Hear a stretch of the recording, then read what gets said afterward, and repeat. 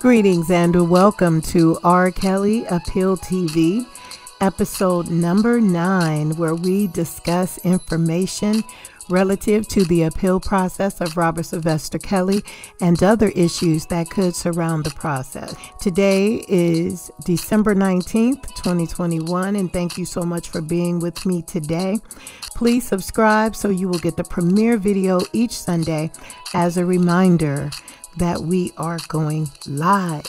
So, the number nine reflects the power of rebirth. As a universalist, I believe in studying the numeric value, and um, it's very ironic because today I also want to share some views about the superstar R. Kelly and the ego relative to to Robert Sylvester Kelly that led him down the path of the destruction in which he has now found himself. And I'm not here as a therapist to determine whether someone has multiple personality disorders or anything like that. That's not what I'm talking about today. I want to share with you the the definition of what the ego represents and go a little bit deeper into that.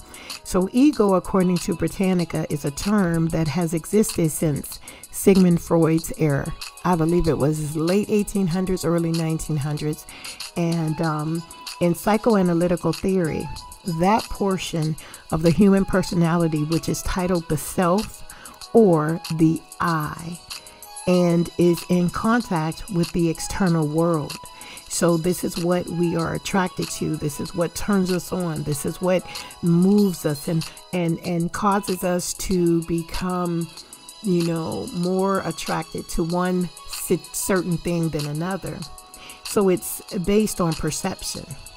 Now, according to Beyonce in her song, The Ego, it is the part that remembers, that evaluates, that plans and responds to events surrounding the physical and the social world.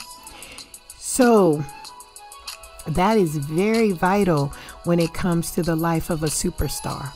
So studies such as these always excites me because it moves and maneuvers people to think outside of the box and just, you know, figure what it is that they want. So, as a universalist, I study the moon phases and the cycles of the planetary alignments. And so I looked at the date May 4th, 2022, which is going to be the unveiling of what will take place in sentencing for our R&B singer Robert Sylvester Kelly. It really intrigued me um, that, you know, just following and playing around with the energies that will push forth whatever circumstance is going to come from this this day. And there's a reason why people create dates. Dates are very important, especially if you do it futuristically because you already know what aligns in that time. You know if it's going to be a chaotic day. You know if it's going to be a expansive day, you know, so it moves us. So this unveiling is going to be very interesting to me. I also recently heard some news that really disturbed my spirit. Robert Sylvester Kelly has been neglected in while incarcerated. Um, he's found out that he was a pre-diabetic and been neglected in while incarcerated. Um, he's found out that he was a pre-diabetic and you know, people, um, some of the staff who are there to serve the inmates refused giving basic essential needs such as food and sleep. And I won't go further into detail about that particularly.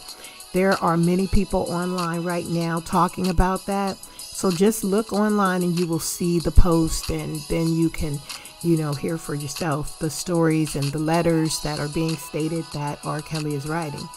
So I'm very inclined to believe this is a smear on the emotional psyche of R. Kelly, the superstar. And I'm not here, like I said earlier, I believe I said, I'm not here to be a, a therapist and determine whether we're dealing with multi personality disorders. That's not what I'm here to do.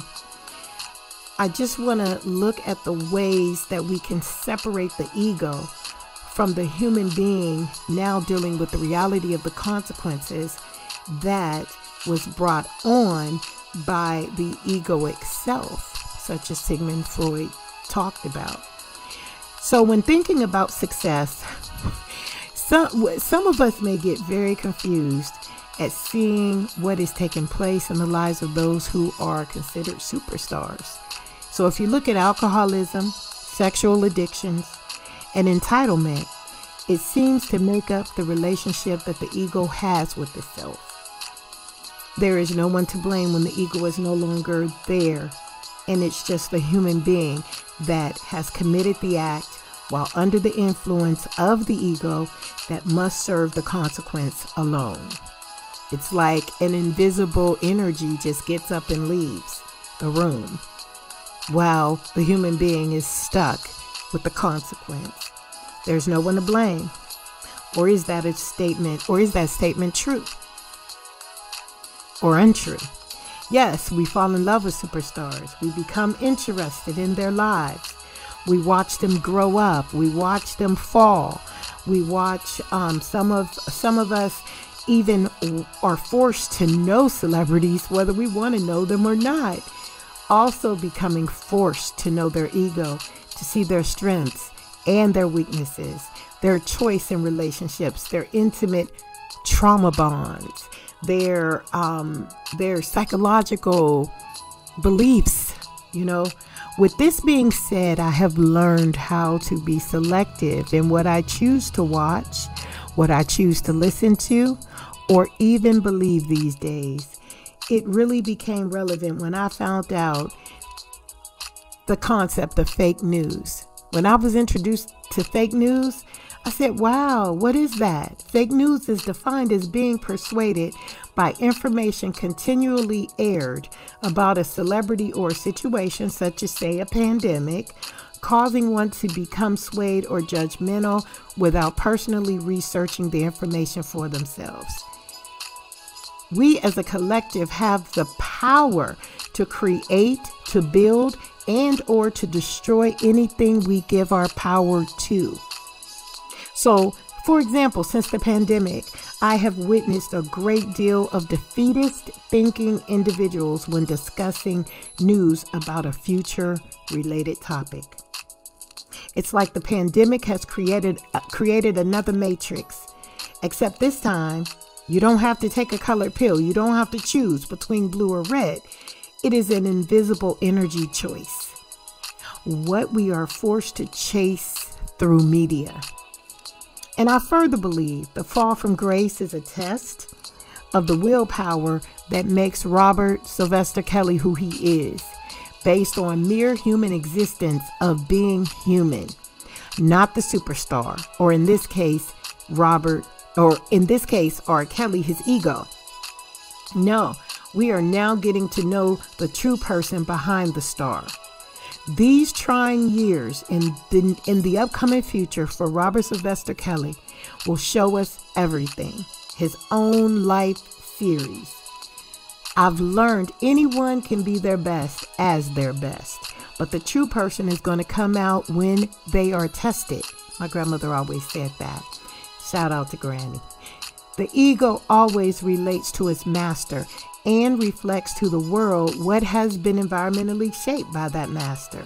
When there's no audience to watch, the ego seems to shut itself down. A good another good analogy to this is the Truman Show with Jim Carrey.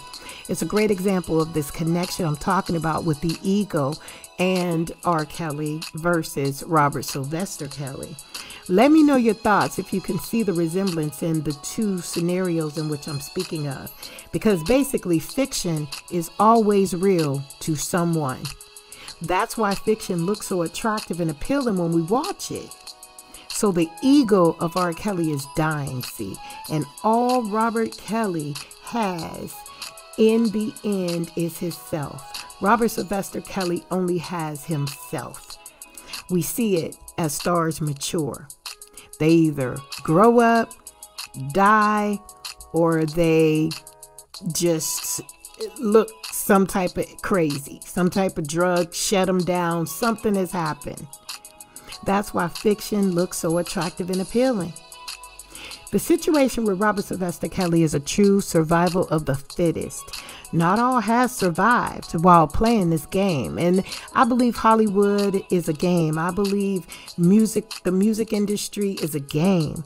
Yet many survive who um, who they are when they become the God nature within themselves, comparing themselves to the human that has been created by the ego. These are just some thoughts I had this week in conversations with individuals that are fans of R. Kelly, still down for R. Kelly. Shout out to R. Kelly Nation because guess what? Many of us are sitting here um, judging, and but yet in the background we still listening to his music. You know what I'm saying?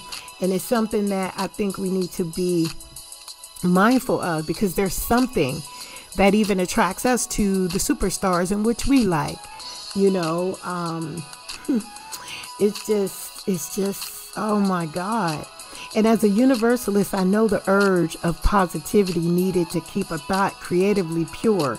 It's not as though i am just saying that he is wrong or he is right. I am not one to actually judge that for him.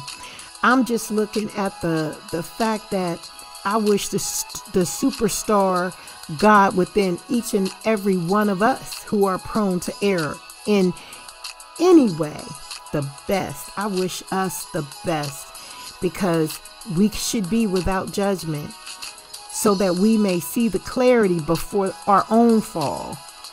And this is the ego rising in us, even the judgmental individuals who believe, you know, oh, he needs to, you know, Kelly needs to serve the rest of his life in prison. You know, all that is ego.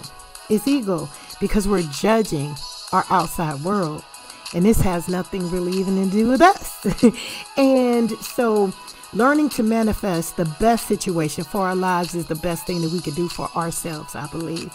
I believe that we are in control and that we hold our own destiny in our own hands and also the destiny of other individuals who could possibly you know, have been looked at in a negative light. You know, that negativity shines on all at one point in life. And every single one of us will have our day. Every one of us will have our day. And it's how strong we're going to be when we stand up to that day. Because when that day comes, we're going to have to say to ourselves, are we strong enough? Will we have the support? Will we have the financial backing?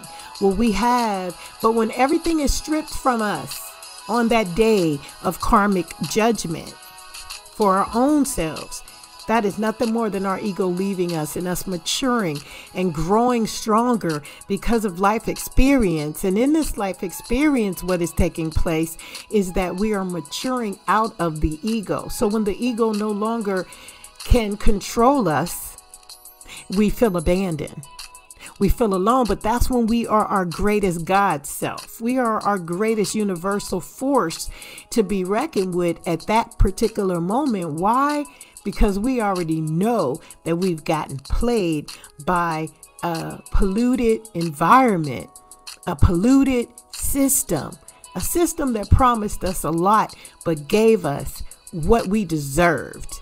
And we ourselves must have the blueprint within our psyche to truly believe that we deserve what we get. And see, this is where karma plays a strong, significant role that we have to be very mindful to because if we are sitting on our weakest day, feeling our weakest, then we are going to succumb to all the animosity, all the hate that's within us, about us, to us, and that is what is going to destroy us. See, so I need you to really, really think, and meditation is the key. Meditation is the way that we start to believe self confidently about who we are. We cannot walk around here with feeling defeated. Even during a pandemic, you should live your best life.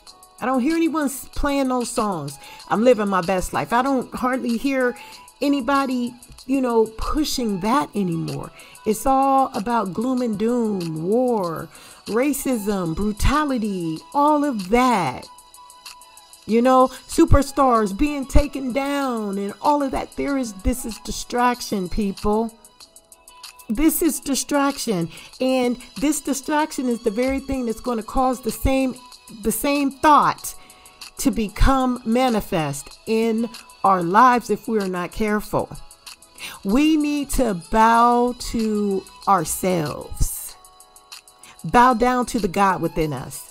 If we can see ourselves higher, greater, standing stronger, believing harder in the beliefs that we know to be true and self evident because it has pr- produced itself over and over and over again in our lives, then at that point, and only then, will life begin to make sense to us again.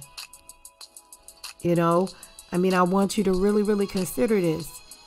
You know, it's not about R. Kelly right now. It's about what we're doing for ourselves to grow from the lessons that the ego has left him in that cell all alone to fight with his own internal demon in order to see if he's strong enough to break through this depression, to break through this this situation because you got to remember, he was the one who said he didn't do it.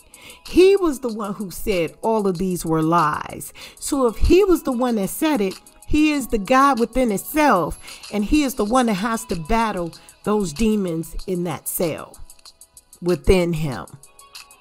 And only then will he be able to rise up and you will hear more powerful things coming from him, more stronger, powerful, you know, music, even coming from out of the jail cells, because that's how we have to be. When we are incarcerated, the last thing we need to be is weak. Not that somebody will take advantage of us. No, it's not that. It's the power that we possess and the thought processes that we have within the godlike nature of our higher being that is going to manipulate the physical lower man within us or woman, masculine, feminine energy to come forth and produce freedom for ourselves because if the ego has left us, it is not left, it is shut down, it is asleep. Just like a robot, it is asleep, and it is up to us at this point to kill it. To let it die so that we can then be as powerful as we need to be in our lives to move forward, to do greater things, even better than what R. Kelly has ever done in his life. He could come out and be 10 million times stronger if he had the manifestation belief in himself. And that, my friends, is the key to working with the ego. And it is not easy. It is something that we have to learn to do. It is something we need to learn to do. So, having these conversations with ourselves instead of judging someone else, because what is happening is we are being distracted by what is going to make us greater if we turned all those judgments and inner thoughts into ourselves and work on us. That would be the best thing. That's what I had to do in 2011 before a situation like this even existed with R. Kelly. So, so I say to you, what judgment are you putting forth? So I thank you so much for liking, sharing, and commenting on this podcast. And we hope to see you every Sunday, 6 p.m. Eastern Standard Time.